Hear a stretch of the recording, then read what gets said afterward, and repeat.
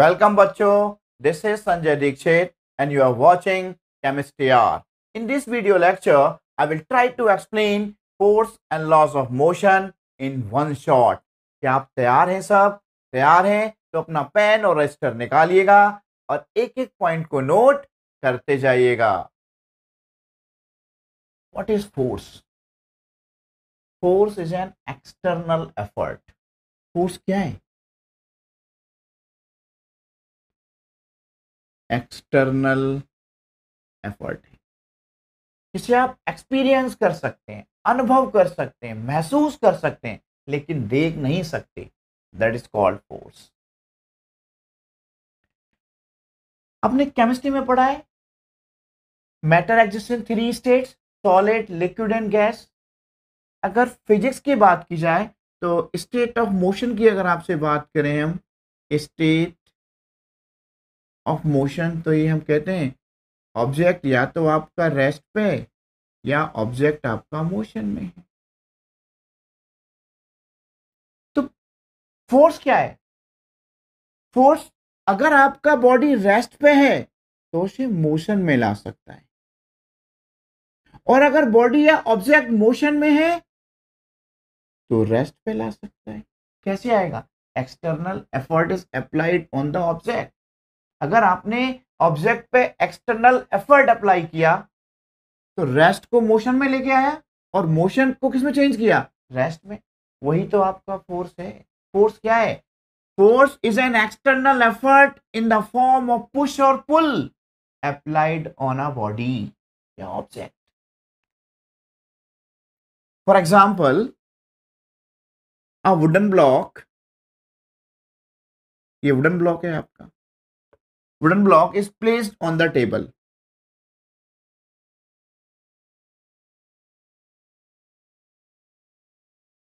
This wooden block is placed on the table. This wooden block cannot move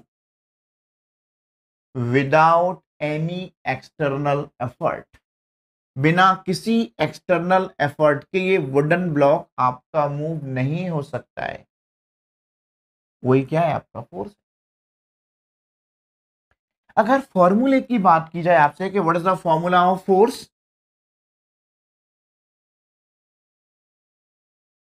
force is the product of mass and acceleration आगे define करेंगे आपको F equal to M into A force is a vector quantity acceleration also a vector quantity Vector quantity means those quantities which are represented by magnitude as well as direction. Such quantities called vector quantity. जिसमें magnitude के साथ साथ direction भी होगा तो force में भी क्या है डायरेक्शन भी इंक्लूड है तो फोर्स कैसा है आपका वेक्टर क्वांटिटी है प्रोडक्ट मास इनटू एक्सप्रेशन तो ऐसा यूनिट क्या होगा मास का यूनिट क्या होगा किलोग्राम और एक्सटेंशन यूनिट क्या होगा मीटर पर सेकंड स्क्वायर तो क्या कहेंगे इसे आप kilogram metre per second square it is also called newton in the honour of Isaac Newton उनके रिस्पेक्ट में इसका यूनिट हम न्यूटन भी मेंशन करते हैं और इसका सी यूनिट होता है dyne D Y N E and one dyne equal to ten to the power minus five newton और एक्सप्रेशन आपने फर्स्ट यूनिट में पढ़ा है A equal to V minus U upon T change in velocity per unit time is called expression it's also a factor quantity and unit metre per second square effects of force effects of force means force के result क्या हैं या फोर्स का परिणाम क्या होगा if you applied a force on any object अगर आप किसी भी ऑब्जेक्ट पर फोर्स अप्लाई करते हैं तो उसके रिजल्ट्स क्या होंगे तो देखिए force can move a body at rest अगर आपका बॉडी मूविंग कंडीशन में है तो उसको रेस्ट पे ला सकता है और अगर आपका ऑब्जेक्ट रेस्ट पे है तो उसे मोशन में ला सकता है अगर सपोज आपका ये फुटबॉल है क्या है ये फुटबॉल है आपका अगर आप इसे हिट करेंगे तो ये मूविंग कंडीशन में चला जाएगा मोशन में आएगा अगर इस पर आप क्या अप्लाई करते हैं आपने फोर्स अप्लाई किया तो क्या आएगा फुटबॉल कैसे आएगा आपका मोशन में आएगा और आपने अगेन अप्लाई किया फोर्स फिर ये रेस्ट में आ जाएगा आपका फुटबॉल है आपने क्या अप्लाई किया फोर्स अप्लाई किया फुटबॉल क्या आएगा मूविंग कंडीशन में आया मोशन में आया आपने अगेन फोर्स अप्लाई किया रेस्ट में आया तो फोर्स क्या कर सकता है मूविंग ऑब्जेक्ट को रेस्ट में ला सकता है और रेस्ट ऑब्जेक्ट को मूविंग पोजिशन में लेके आ सकता है मूविंग कंडीशन में लेके आ सकता है और force can change the direction of motion उसका डायरेक्शन भी चेंज कर सकता है सपोज ये क्रिकेट बॉल है आपका आज आप आजकल आप सब क्रिकेट बॉल तो क्रिकेट तो मैच देखते ही हैं आप शौकीन भी हैं उसके ये आपका क्रिकेट का बॉल है और यहाँ पे आपका तेंदुलकर खड़ा है बैट लेके सचिन तेंदुलकर और बॉलर क्या करता है बॉल को डालता है इस डायरेक्शन में बॉल डाली बॉलर ने अब सचिन तेंदुलकर क्या करेगा Sachin Tendulkar change the direction of ball या इसको बॉल से बैट से टकराएगा आपका क्रिकेट का बॉल और क्या करेगा change the direction of ball इस डायरेक्शन की बॉल को चेंज कर देगा change the direction of ball force can change the shape of a body body की शेप को चेंज कर सकता है अगर आपका रबर का बॉल है आप पे फोर्स अप्लाई करते हैं या पुश करते हैं उसका शेप चेंज हो जाएगा फोर्स कैन एक्सिलरेट और डी द बॉडी अगर आप फोर्स अप्लाई कर रहे हैं तो आपकी जो ऑब्जेक्ट है उसका स्पीड बढ़ भी सकता है और कम भी हो सकता है तो ये सब क्या है आपका ये फोर्स के रिजल्ट हैं इफेक्ट्स ऑफ फोर्स है तो now you define the force hence force can be defined as hence force can be defined as an external effort which changes or tends to change uh, tends to change the state of motion or inertia. Forces are of two types, balance forces and unbalanced forces. If resultant forces means आपका जो vector sum of all forces acting on a body equal to zero, such type of forces are called balanced forces. If the resultant force or uh, कह सकते हैं आप उसको vector sum of all the forces acting on a body is not equal to zero, it means it is unbalanced forces. If the resultant या vector sum of all the forces acting on a body is zero balance forces not equal to zero unbalance forces balance force do not change the state of rest और motion of a body but unbalance forces change is the state of rest और motion of the body अभी हमने discuss किया था physics में आपका state of motion क्या है अगर आपका बॉडी रेस्ट पे है तो उसको मोशन में ला सकता है और मोशन को रेस्ट में ला सकता है पढ़ाया था ना इफेक्ट्स ऑफ फोर्स फोर्स क्या है एक्सटर्नल एफर्ट है लेकिन अनबैलेंस फोर्स में क्या होगा change the state of rest और मोशन ऑफ द बॉडी लेकिन बैलेंस फोर्स में ऐसा नहीं होगा आइदर स्पीड या direction do not change for example देखिए इसका एक फॉर एग्जाम्पल ये आपका एक वुडन ब्लॉक है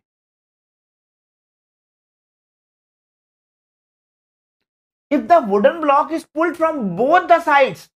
with equal forces, the block will not move. यानी कि इस साइड से आपने इसको F1 फोर्स लगाया और इस साइड से आपने इसको F2 फोर्स लगाया means the block is pulled from both the side with equal forces means आप सपोज कहते हैं कि आपका जो F1 है वो 10 न्यूटन है और एफ टू भी कितना है आपका टेन न्यूटन फोर्स आपने अप्लाई किया means the both sided the force equal to ten newton and ten newton it means the block is pulled from both the side with equal forces in such situation the block will not move क्या होगा यहां block will not move क्यों कि आपका F one equal to क्या है F two है F one equal to F two means resultant force therefore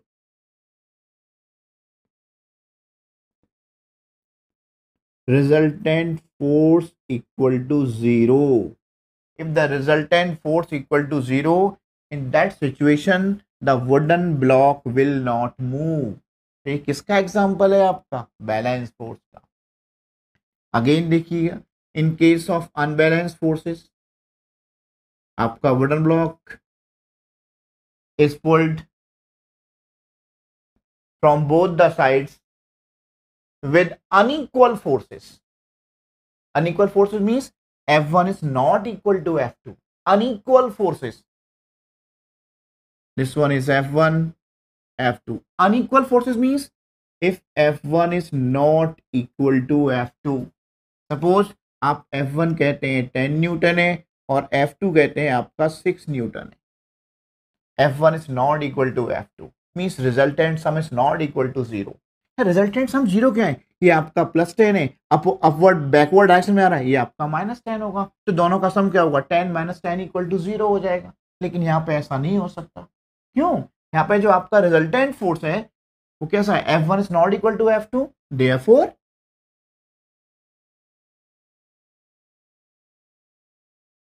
resultant force is not equal to zero यानी क्या है F one is greater than F two F one is not equal to zero resultant force is not uh, f1 is not equal to f2 that's why resultant force is not equal to zero अब इसमें f1 ज्यादा है या f2 ज्यादा है तो आप कहेंगे here f1 is greater than f2 f1 f2 से ज्यादा है फिर क्या होगा hence the block will move Hence, the block will move towards F1. Block will move towards F1. तो आपका ब्लॉक किधर मूव करेगा F1 में क्यों मूव करेगा क्योंकि F1 is greater than F2 ज्यादा है another example of unbalance forces जो डेली लाइफ का एग्जांपल है हर दिन आप साइकिल चलाते हैं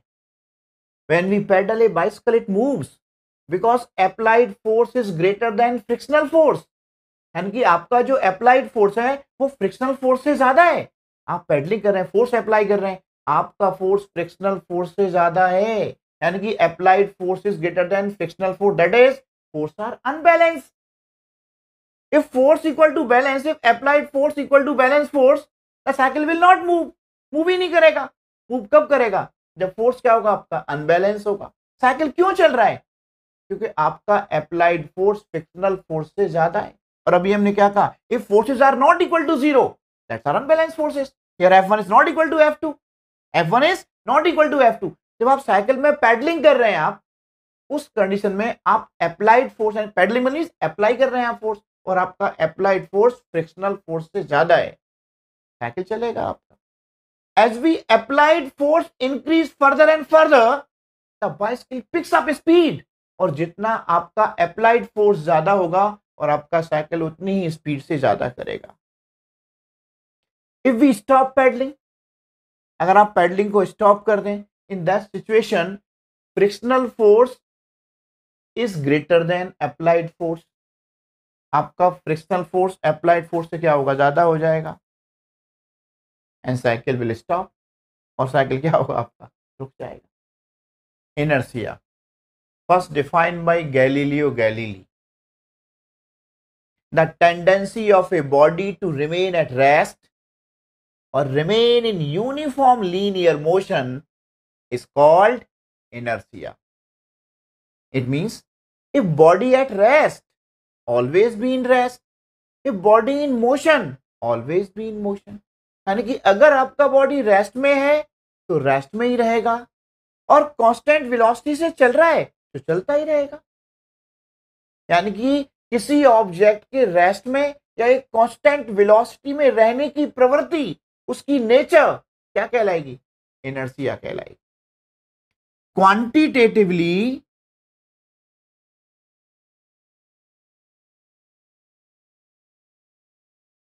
quantitatively the inertia of an object inertia of an object is measured by its mass यानी कि आप ये बात कह सकते हैं कि inertia is directly proportional to mass of the body means larger the mass of body greater the mass of body greater is this inertia and the greater the mass greater the mass of a body greater is its inertia. What is the SI unit?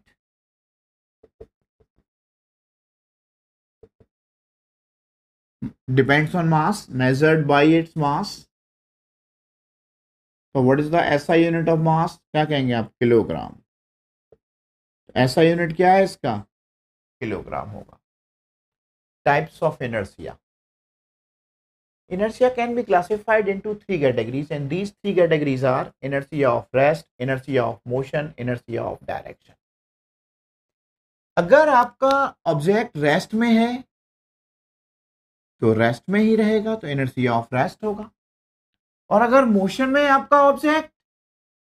तो motion में ही रहेगा और next आपका energy of direction fruits fall down from a tree on shaking a branch due to inertia of rest due to inertia of rest suppose मान लीजिए ये आपका ट्री है ब्रांच है और ये उसके नीचे एक सेब लगा हुआ है सेब है आपका फ्रूट है जब आप ब्रांच को हिलाएंगे तो आपका जो फ्रूट है सेब वो तो हिलेगा नहीं और जब ब्रांच हिलेगा जब आपको ब्रांच को हिलाएंगे आप तो सेब क्या होगा टूट के नीचे गिर जाएगा वो लिखा है ना आपका ब्रांच तो आपका मोशन में है ब्रांच को हिलाया मोशन में है लेकिन फ्रूट एट रेस्ट फ्रूट आपका रेस्ट में ही है तो इसलिए वो क्या होगा टूट के नीचे गिर जाएगा second a man while jumping from moving train falls forward जब आप चलती बस से या चलती कार से या चलती हुई ट्रेन से जंप करेंगे तो आगे की तरफ गिर जाएंगे क्यों गिर जाएंगे the lower part of body come to rest आपका जो लोअर पार्ट है वो तो रेस्ट में आ गया लेकिन अपर पार्ट ट्रेन के साथ ही चल रहा है ट्रेन के साथ चल रहा है ना जैसे आप ट्रेन से जंप करेंगे चलती ट्रेन से आगे की ओर गिर जाएंगे अगर आपसे आपको गिरने से बचना है तो क्या करेंगे आप ट्रेन के साथ साथ थोड़ी स्पीड में उसी की स्पीड में उसी के साथ आगे की ओर चलते रहेंगे आगे की ओर चलेंगे जिस डायरेक्शन में आपका बस चल रहा है उसी डायरेक्शन में आप उस तरफ जंप करेंगे क्योंकि आपका लोअर पार्ट रेस्ट में आया लेकिन आपका लोअर पार्ट भी मूविंग कंडीशन में होगा तब आप नहीं गिरेंगे next inertia of direction when speeding car takes a sharp turn देखा होगा आपने जब भी कार या बस जब भी कोई शार्प टर्न लेती है तो आप एक साइड में गिर जाते हैं due to inertia of direction momentum the total quantity of motion continued in a body is called momentum total quantity of motion means किसी ऑब्जेक्ट में कंटिन्यूड मीन्स जारी किसी ऑब्जेक्ट में जारी मोशन की जो कुल मात्रा है उसे क्या कहेंगे आप मोमेंटम कहेंगे for example suppose car and truck car and truck moving at relatively fast velocity दोनों ही फास्ट वेलोसिटी से मूव कर रहे दोनों ही भाग रहे हैं लेकिन car has small momentum than truck यानी कि ट्रक के कंपेरिजन में कार का मोमेंटम कम है because of its small mass ऐसा क्यों है because of its small mass यानी कि आपने ये कहा कि हमारा मोमेंटम किस पर डिपेंड कर रहा है मास पर डिपेंड कर रहा है मास कम है मोमेंटम कम हो गया सेकंड एग्जांपल देखते हैं आप देखिएगा अब bullet although has small mass अगर हम बुलेट की बात करते हैं अब bullet has small mass but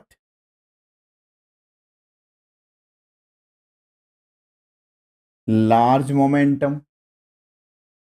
अगर आपने बंदूक से निकली गोली समझ में आ रहा है ना बंदूक से अब गोली निकली उसका देखें बुलेट बुलेट बुलेट मीन्स गोली उसका मास तो बहुत कम है बट उसका मोमेंटम बहुत ज़्यादा है मोमेंटम ज़्यादा क्यों है because of because of its extremely large velocity because of its extremely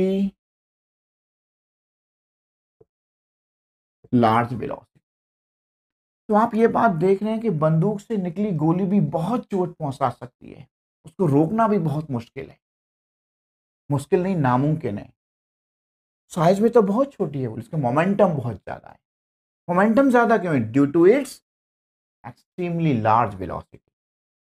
तो इन दोनों पॉइंट्स के आधार पर आपने एक कंक्लूजन निकाला कि हमारा जो मोमेंटम है किस पर डिपेंड करता है हमारा मोमेंटम डिपेंड्स करता है momentum depends on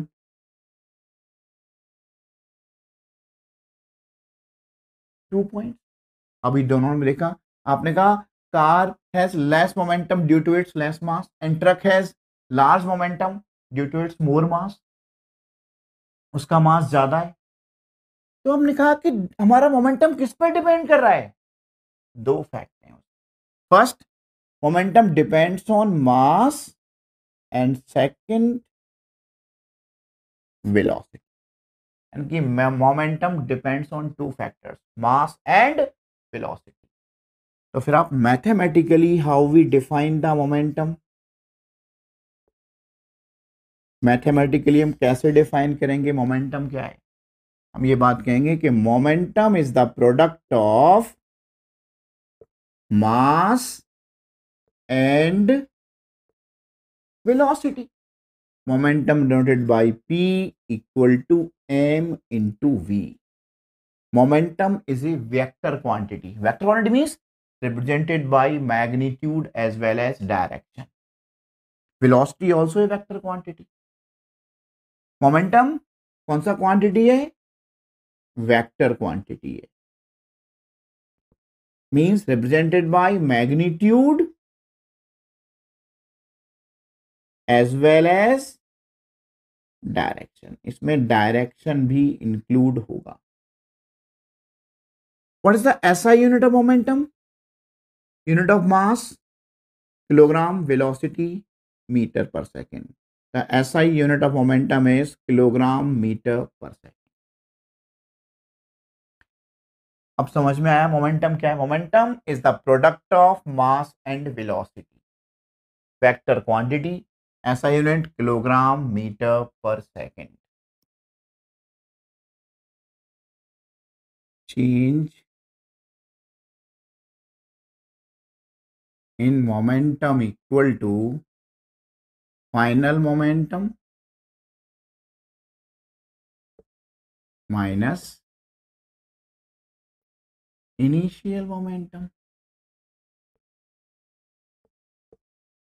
and change in momentum noted by sign delta p equal to p2 minus p1 where delta p p2 final momentum and p1 is initial momentum and momentum is the product of mass and velocity so final momentum क्या होगा m v minus m u delta P equal to M आप common ले सकते हैं V minus U अब आप कहेंगे change in momentum delta P equal to M we minus U where M is the mass of object and v final velocity and u initial velocity और ये बात जानते हैं यूनिट ऑफ वेलोसिटी आपको पता है metre per second and unit of momentum अभी हमने डिस्कस किया था आपके साथ unit of momentum kilogram metre per second Newton law of motion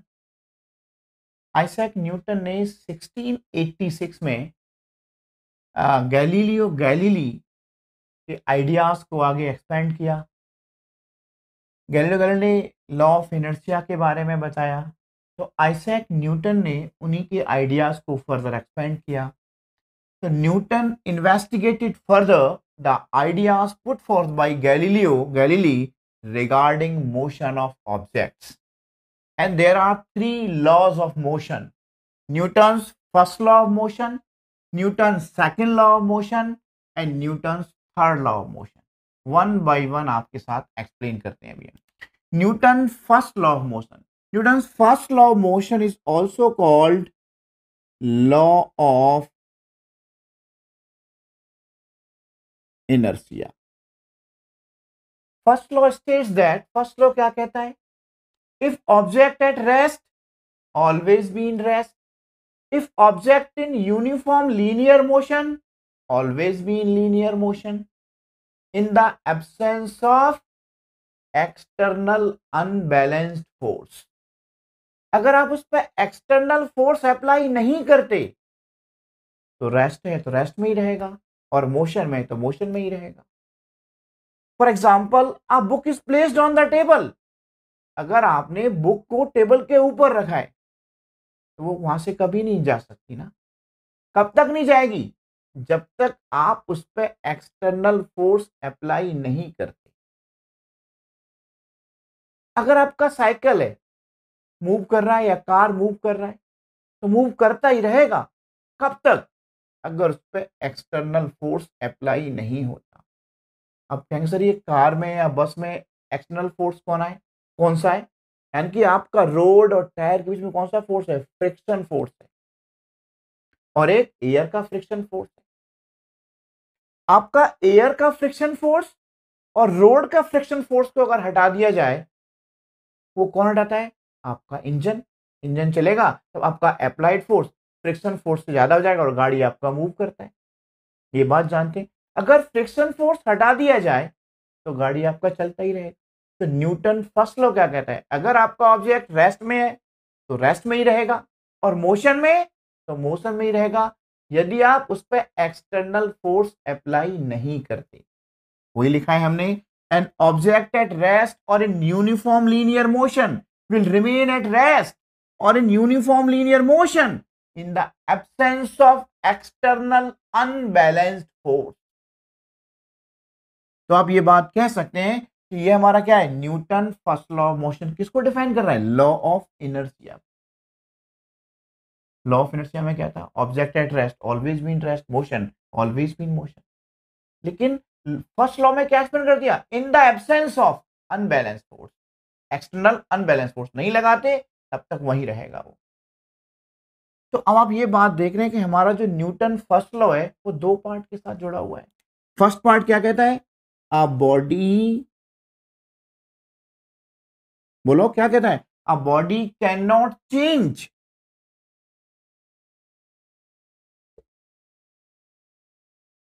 its state of rest by itself अपने आप चेंज नहीं कर सकता या a body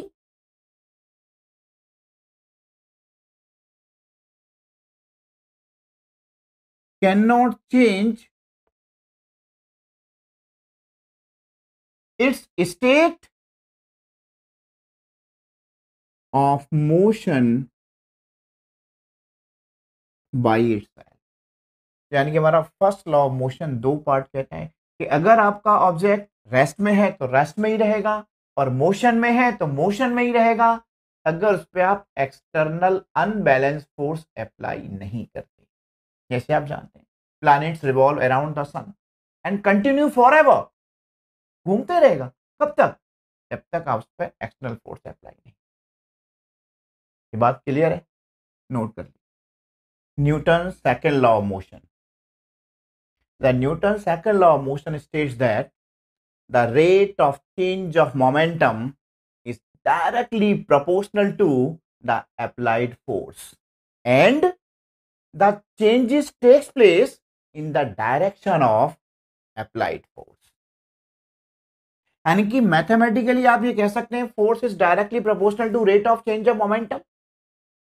क्योंकि सपोज ये आपका ऑब्जेक्ट है इसका मास क्या है M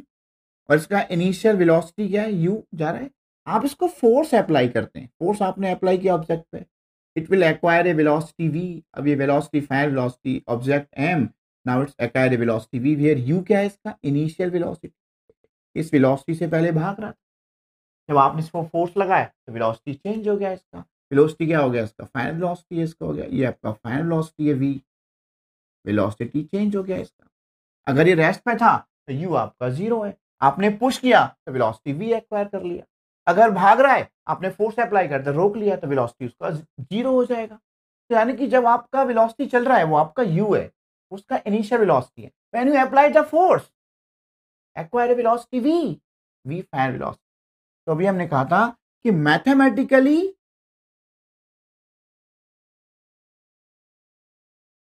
second law state that कि force is directly proportional to rate of change of momentum यानी कि F directly proportional to change in momentum delta P rate divided by time यानी कि rate of change of momentum is F proportional to delta P change in momentum divide by time F proportional to change in momentum क्या होगा P two minus P one upon T where P two क्या है आपका ये भी हमने discuss किया था P two final momentum and P one initial momentum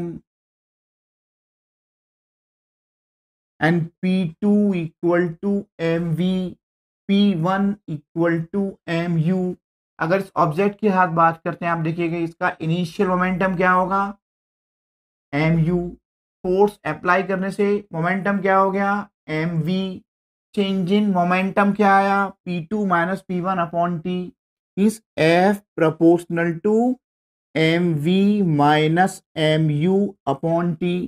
F proportional to M आपने कॉमन लिया V minus U upon T और आपने ये पढ़ा है मेरे बच्चों फर्स्ट इक्वेशन मोशन में कि A equal to V minus U upon T यानी कि एक्सलरेशन क्या है आपका चेंज इन वेलोसिटी पर यूनिट टाइम ये बात जानते हैं A equal to V minus U upon T therefore F proportional to क्या होगा एफ प्रपोर्शनल टू क्या होगा M into V minus U upon T क्या होगा A F proportional to M A अगर आप प्रपोर्शनल का साइन हटा देते हैं तो एक कांस्टेंट लेके आएंगे एफ इक्वल टू क्या हो जाएगा एम इंटू ए आपका हो जाएगा क्या हो जाएगा K M A where K क्या है आपका के आपका प्रपोर्सनैलिटी कॉन्स्टेंट है वेयर के प्रपोर्शनैलिटी कॉन्स्टेंट है अगर आप कहते हैं एफ आपका वन है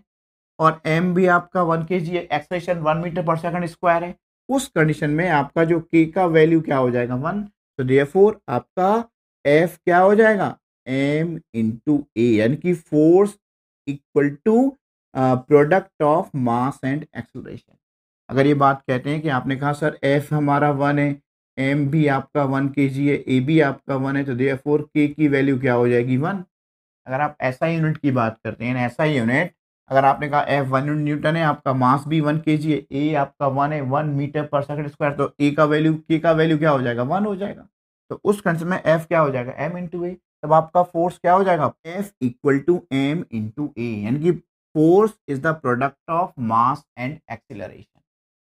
तो अभी हमने ये कहा आपके साथ कि force equal to M into A और फोर्स कौन सा क्वांटिटी है वेक्टर क्वांटिटी है product of mass and acceleration इसका ऐसा यूनिट क्या होगा ऐसा unit of mass kilogram metre per second square और आप मेंशन कर सकते हैं kilogram metre second inverse two that is also called Newton in the honour of Isaac Newton So what is the SI unit of force? Newton and CGS system में इसका unit होता है dyne D Y N E and one dyne equal to ten to the power minus five Newton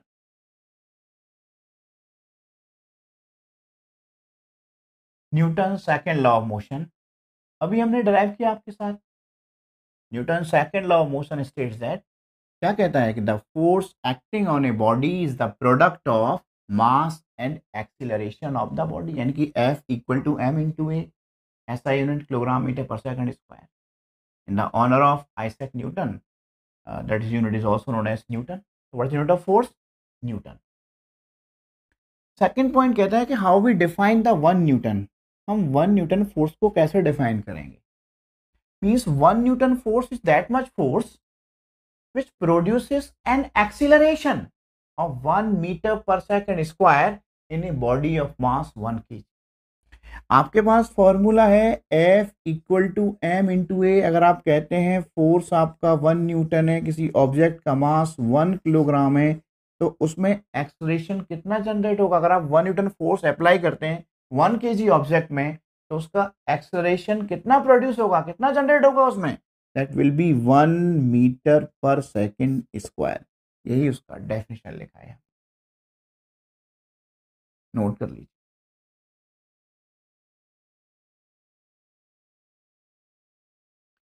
Newton's first law of motion is a special case of Newton second law Newton second law force is the product of mass and acceleration and Newton first law of motion body at rest always be in rest body in motion always be in motion in the absence of external unbalance force अगर आप किसी object पे external force apply नहीं करते body rest में है तो rest में ही रहेगी और मोशन में है तो कंटिन्यू मोशन में ही रहेगी ये कौन सा लॉ है Newton first law of motion that is also called law of inertia देखिए न्यूटन सेकेंड लॉ कहता है आपके साथ F equal to M into A ये कौन सा लॉ है Newton second law of motion F equal to M into A अभी डिस्कस किया था हमने V minus U upon T आपने पढ़ा है A equal to V minus U upon T acceleration equal to change in velocity cross multiply कीजिए F into T equal to M V M V minus M U F into T when Newton first law कहता है कि अगर आपने external force नहीं apply किया तो हमने क्या किया when external force is not applied अगर आप किसी ऑब्जेक्ट पे एक्सटर्नल फोर्स अप्लाई नहीं करेंगे तो एफ क्या होगा जीरो होगा four vote N equation number one तो zero equal to M V minus M U और आप ये भी कह सकते हैं M V equal to M U M से एम कैंसिल हो जाएगा तो क्या होगा V equal to U it means V equal to U V final velocity है आपका एंड यू इनिशियल वेलोसिटी है both are same it means if external force is not applied the body will continue to move with same uniform velocity यानी कि हमने Newton second law of motion से भी Newton first law of motion को derive किया अगर आप external force apply नहीं करते तो आपका बॉडी या कोई भी ऑब्जेक्ट कंटिन्यू उसी स्पीड के साथ या उसी वेलोसिटी के साथ हमेशा चलता रहेगा और चलता ही रहेगा नोट कर लीजिए इस पॉइंट को जो कि स्पेशल केस है Newton first law is a special case of Newton second law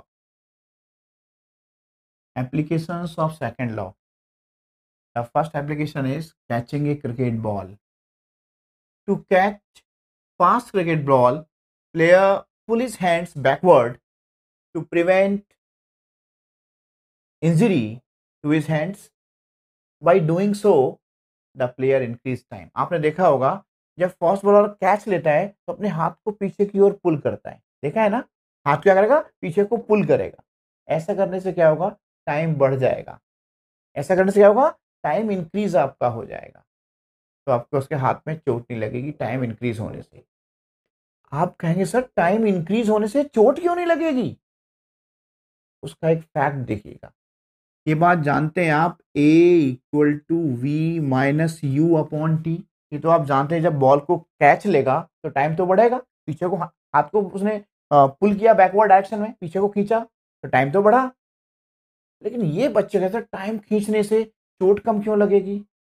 समझ में नहीं आया कुछ देखिए a equal to v minus u upon t अब आप अगर टाइम को इंक्रीज करेंगे तो आप टाइम से डिवाइड कर रहे हैं तो v minus u upon t का वैल्यू क्या होगा कम हो जाएगा अगर टाइम बढ़ाएंगे तो एक्सन क्या हो जाएगा आपका डिक्रीज हो जाएगा भाई इफ़ यू इंक्रीज यानी कि टाइम क्या किया आपने इंक्रीज किया तो एक्सेशन आपका डिक्रीज हो गया टाइम बढ़ा दिया आपने ये आपका डिक्रीज हो जाएगा और ये बात जानते हैं हम कि f equal to m into a force is the product of mass and acceleration जब आपका ए रिड्यूस हुआ है जब आपका ए डिक्रीज हुआ है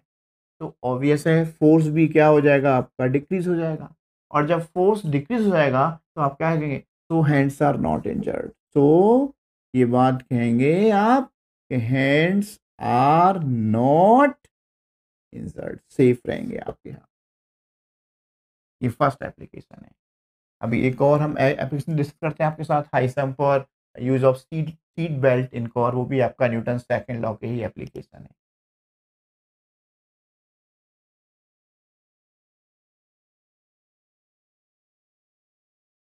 एप्लीकेशन ऑफ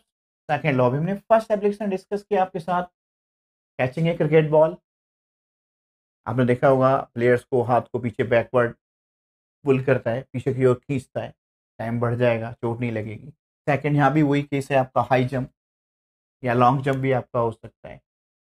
अब हाई जंप और लॉन्ग जंप के केस में क्या किया क्वेश्चन बैठ यानी कि गद्दे या हमने सैंड का इस्तेमाल किया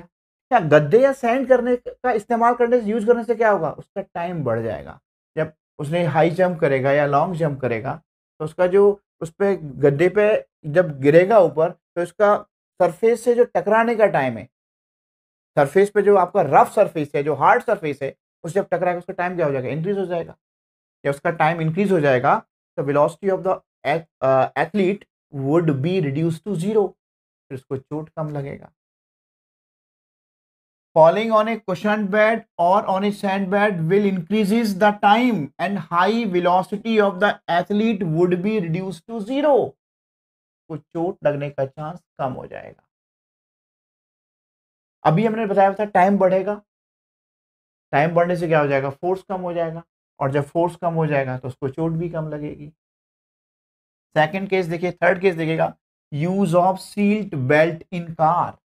आपने देखा होगा इन केस ऑफ एक्सीडेंट और you apply the sudden brakes जब एक साथ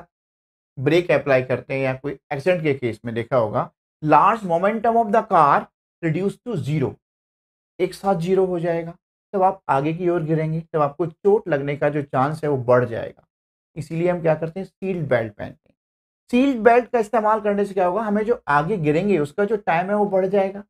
और टाइम के बढ़ने से क्या होगा आ, आपका जो rate of change of momentum of passenger is reduce आपका जो मोमेंटम है वो कम हो जाएगा जो rate of change of momentum है वो कम होगा और rate of change of momentum ही तो फोर्स है आपका यानी कि फोर्स क्या हो जाएगा आपका कम हो जाएगा और फोर्स कम होगा तो आपको चोट भी कम लगेगा देखिए लिखा है हमने इन केस ऑफ एक्सीडेंट और in case of sudden application of brakes the large momentum of car reduce to zero in a very short interval of time by using seat belt the time taken by the passengers to fall forward increases time बढ़ेगा therefore the rate of change of momentum of passenger is reduced same वही कहानी time बढ़ेगा accession कम हो जाएगा same अभी हमने पढ़ाया था ये बात जानते हैं F equal to m into a जानते हैं ना और हमने क्या कहा था a equal to v minus u upon t अगर आपने टाइम बढ़ाया तो ए क्या हो जाएगा कम हो जाएगा अगर आपका ए कम हो जाएगा तो ओवैसे आपका फोर्स भी क्या हो जाएगा आपका डिक्रीज हो जाएगा और जब आपका फोर्स डिक्रीज हो जाएगा तो आपका जो चोट लगने का चांस है वो क्या हो जाएगा रिड्यूस हो जाएगा कम हो जाएगा ये क्या थे आपके application of second law Newton second law याद रखिएगा इन्हें कैचेंगे क्रिकेट बॉल पीछे को हाथ पुल करेंगे चोट लगने का चांस कम हो जाएगा हाई जंप लॉन्ग जंप हम कुशन बेल्ट या सेंड का इस्तेमाल करेंगे या use seat belt in a car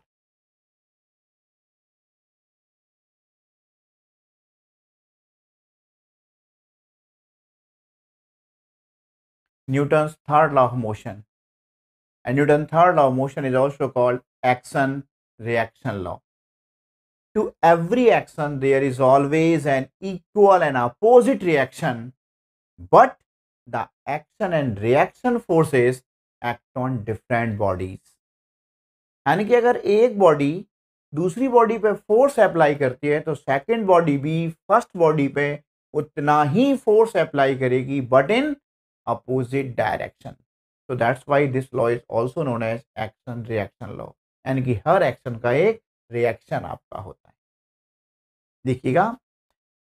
to every action there is always an equal and opposite reaction but the action and reaction forces act on different bodies अगर एक body ने दूसरी body पे एफ वन फोर्स लगाया है one ने two पे लगाया है सेकेंड भी उतना ही फोर्स लगा रहा है नेगेटिव साइन का मतलब है in opposite direction equal force but in opposite direction इसके बहुत सारे एग्जाम्पल्स आप हो सकते हैं स्विमिंग है वॉकिंग है स्विमिंग रिकॉइलिंग ऑफ गन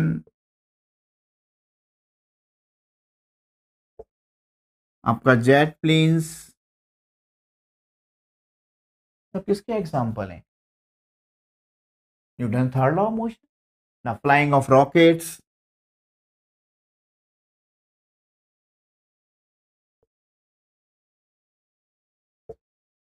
या फिर in case of horse pipes ये सब किसके एग्जाम्पल है न्यूटन थर्ड लॉ मोशन अब मैं आपके साथ एक्सप्लेन करता हूँ अभी आपका वॉकिंग सारे उसी के बिहाफ पे आप उन्हें एक्सप्लेन कर सकते हैं walking swimming recoiling of gun सब क्या है Newton third law motion walking to walk the feet push the ground जब आप चलते हैं आप चलने का महसूस कीजिए जब चलेंगे तो ग्राउंड क्या करेंगे आप पुश करेंगे to walk the feet push the ground ये क्या है एक्शन है एंड इन टर्न इसके बदले में ground exert equal force in opposite direction ये क्या है उसका रिएक्शन है एंड कि हर एक्शन का एक क्या है रिएक्शन आपका होगा तो that's why this law is called action and reaction law यानी कि जब आप चलते हैं तो वी uh, कहते हैं ना to walk the feet push the ground ये एक्शन है एंड इन ग्राउंड क्या करेगा उसके बदले में and turn ground exert equal force but in opposite direction ये उसका रिएक्शन है बच्चे कह सर हमें अर्थ हमें ग्राउंड कहाँ एक्सर्ट कर रहा है इक्वल फोर्स आप दलदल में चल के दिखाइए ना जहाँ मिट्टी भी है और पानी भी है वो आपको इक्वल फोर्स अपोजिट डायरेक्शन में क्या करेगा एक्सर्ट नहीं करेगा यानी कि दलदल में अगर आप जाएंगे तो दलदल क्या करेगा बदले में आपको not exert equal force in opposite direction तो दलदल में आप नीचे ही चले जाएंगे वहां आपको रिएक्शन नहीं मिलेगा सिर्फ एक्शन ही मिलेगा आपका तो समझ में आ रहा है नहीं आ रहा तो वॉकिंग किसका एग्जाम्पल है Newton third law of motion to walk feet push the ground action and the turn exert equal force in opposite direction reaction आपका हो गया बच्चों कैसे मैं तो ग्राउंड कहीं फोर्स नहीं लगा रहा ऊपर को मैं तो नहीं दिखाई दे रहा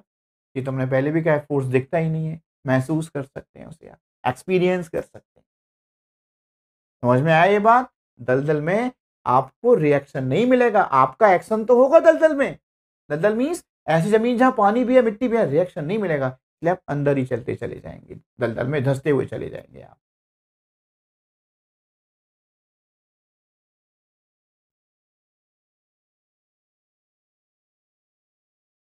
law of conservation of momentum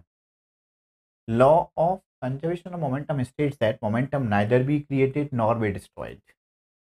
but total momentum remains constant यानी कि ना तो इसको क्रिएट किया जा सकता है और ना ही डिस्ट्रॉय किया जा सकता है यानी कि मोमेंटम रिमेन्स कॉन्स्टेंट हमेशा कॉन्स्टेंट रहे okay means the total momentum of a system of two और more object before and after interaction is same हमेशा सेम रहे let us consider two bodies suppose एक बॉडी आपका ए है और second body B है this is A and this is B and this is mass m1 and this is mass m2 and initial velocity u1 and initial velocity u2 before collision before collision यानी कि टकराने से पहले दो body A और B इसका mass m1 m2 है उनका वेलोसिटी क्या है u1 एंड u2 है ड्यूरिंग कोलिजन जब ये टकराएं दोनों ए और B mass remains constant m1 m2 रहेगा वेलोसिटी यू वन और यू टू रहेगा ये during collision during collision and ये आपका हो जाएगा after collision the body A and B mass m one and mass m two velocity will acquire v one and B acquire a velocity v two after collision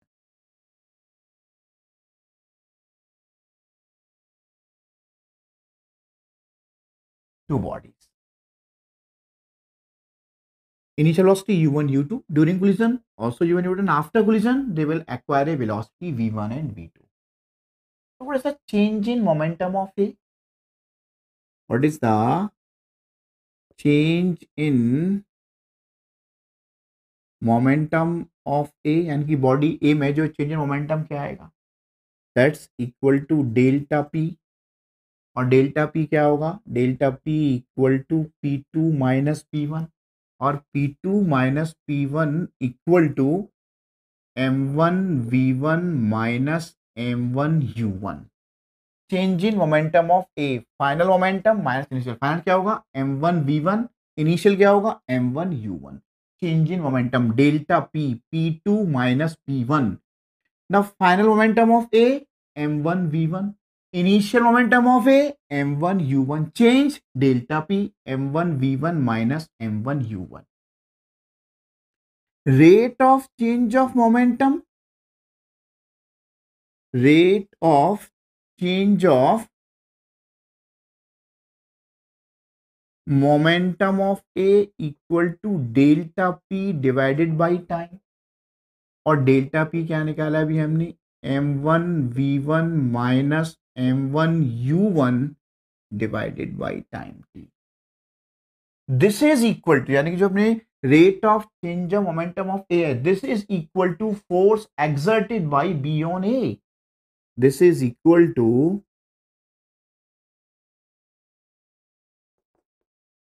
force exerted by B on A यानी कि B body का A पे force लगाया B on A that is जिसे आप क्या कहेंगे जिसे आप कह सकते हैं एफ बी ए यानी कि इस एफ बी ए का वैल्यू होगा क्या वैल्यू होगा m one v one minus m one u one upon t similarly आप ये भी कह सकते हैं force saturated by B on A on B क्या होगा एफ ए बी क्या होगा सेम फोर्स होगा आप ये क्या होगा m one v one minus m one जो होगा एम टू वी टू आपका हो जाएगा क्या होगा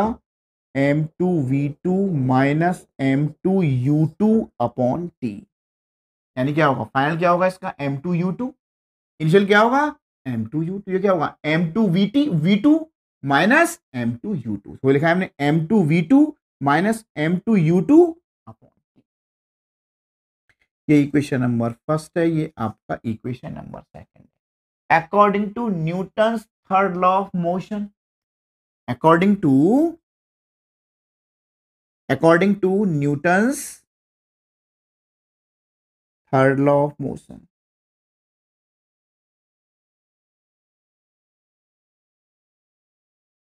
Newton third law of motion हमने क्या करता है एक्शन एंड रिएक्शन लॉ याद होगा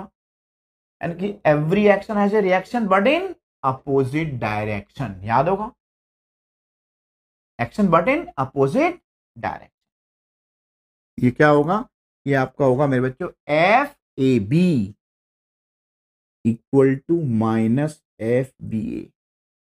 या ऐसे आप ये भी कह सकते हैं minus F B A equal to F A B अब आपका माइनस का एफ बी ए का वैल्यू क्या है माइनस साइन लगा दिया आपने m one v one minus m one u one upon t equal to F A B है m two v two minus m two u two upon time आपका time से time cancel होगा तो minus से multiply किया होगा minus m one v one plus m one u one equal to m two v two minus m two u two इसको आप इधर लेके आइए लेफ्ट साइड में और इसको आप राइट साइड में ट्रांसफर कीजिए तो क्या मिलेगा आपको m one u m one u one plus u one plus m two u two m two u two equal to this is m one v one plus m two v two यही क्या है आपका Newton यही क्या है आपका law of conservation of momentum means m1 u1 plus m2 u2 momentum before collision m1 v1 plus m2 v2 momentum after collision तो क्या कहेंगे आप momentum before collision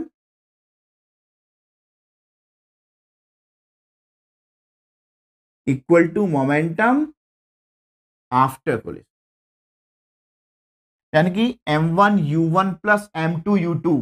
momentum before collision equal to m one v one plus m two v two momentum after collision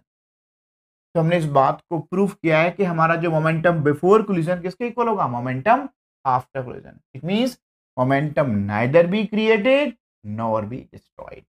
इसका formula क्या होगा momentum before collision m one u one plus m two u two equal to after m one v one plus m two v two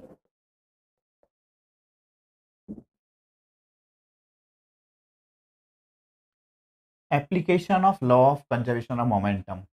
First application, fighter jet planes or rockets. Means momentum of rocket plus momentum of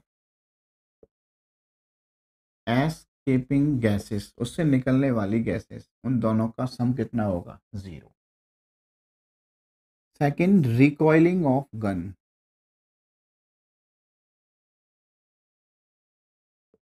recoiling of gun means momentum of bullet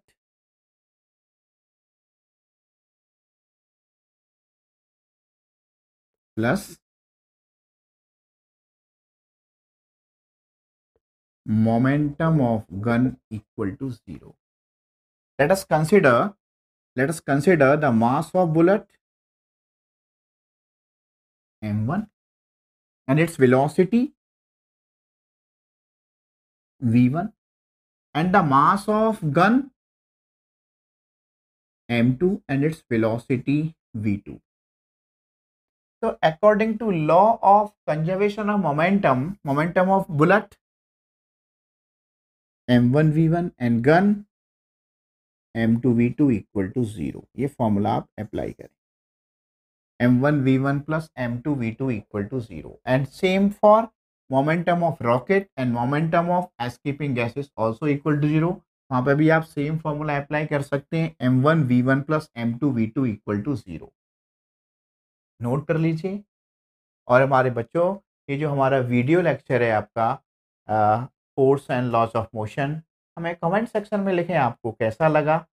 और ये हमारा जो video है आप अपने friends को ज़्यादा से ज़्यादा शेयर भी करें आप लाइक भी करें और हमसे आप क्या एक्सपेक्ट करते हैं नई वीडियो के लिए वो हमें कमेंट सेक्शन में ज़रूर लिखें और अपनी मन लगा के आप पढ़ाई करते रहें धन्यवाद बच्चों ऑल द बेस्ट